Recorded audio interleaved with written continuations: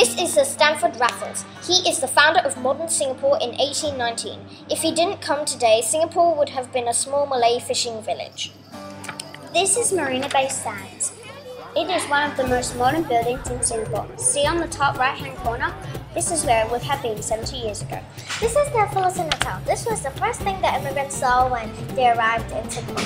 It was always open so the immigrants could rest there before carrying on. This is a picture of the boats that they used 70 years ago. Some of the boats were rafts and others were bumboats carrying goods. The drawing, as you can see, is of the Singapore River. You can also see lots of shop houses and warehouses on the banks of the river. These buildings are shop houses. They are old-fashioned shops with houses on top.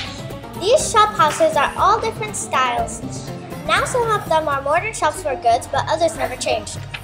In the early 19th there were no traffic lights, so they used a policeman to direct the vehicles and other transport, like rickshaws and bikes. As you can see, the hardworking immigrants from China and India lifted the cargo by hand from the boats to wagons pulled by oxes which took the goods such as spices and clothes to the warehouse or markets.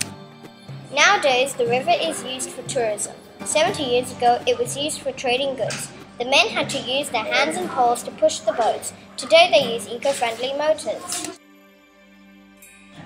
In the early 19th century, transportation in Singapore has changed as much as the country itself, from walking to rickshaws to modern cars and MRTs. Today, rickshaws have been modified for tourism. As you can see, bikes have been attached to make the job easier.